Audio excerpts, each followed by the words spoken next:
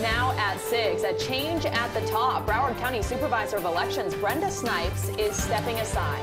Dr. Snipes submitted her resignation to Governor Rick Scott hours after the end of the recount that thrust her into the national spotlight for all the wrong reasons. Her resignation is effective January 4th. So what's next for Broward and the elections office there? CBS 4's Joan Murray is live at Broward Election Headquarters in Lauderhill for more on that. Joan. Well, the supervisor has another 45 days before she officially leaves her post, and it is not clear right now exactly when she's going to be moving out her papers. And now the big question is who will replace her? See you guys. Thank you. Thank you. When she waved goodbye to reporters Sunday after the manual recount was over, Broward election supervisor Brenda Snipes penned her final goodbye, telling the governor, Although I have enjoyed this work tremendously, I am ready to pass the torch. Therefore, I request you accept my resignation effective January 4th, 2019.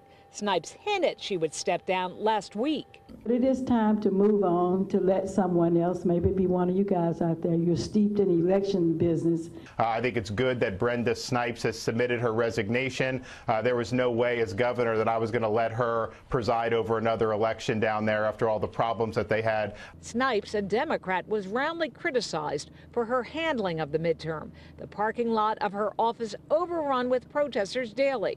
Governor Rick Scott and President Trump made unsubstantiated claims she was trying to steal the election. We will complete the recount.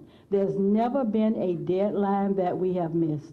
Despite promises, Snipes missed a state deadline for the machine recount last week after a rocky start to the process and complaints of the slow returns following the election. Uh, certainly, uh, the last go around has not been the most positive thing.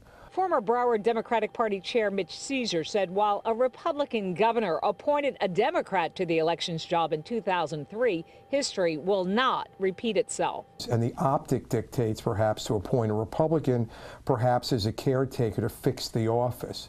It's very hard to equate the two 16 years apart. Uh, also, uh, Governor DeSantis does have a positive opportunity to go into a Democratic county appointed Democrat but you'll get as many different opinions as people you talk to. Anyone who says they know, don't know. It is anybody's guess what Ron DeSantis may do. Now, this position pays $178,000 a year. Once again, it is unclear when she is going to be vacating the office. In Lauderhill tonight, Joan Murray, CBS 4 News.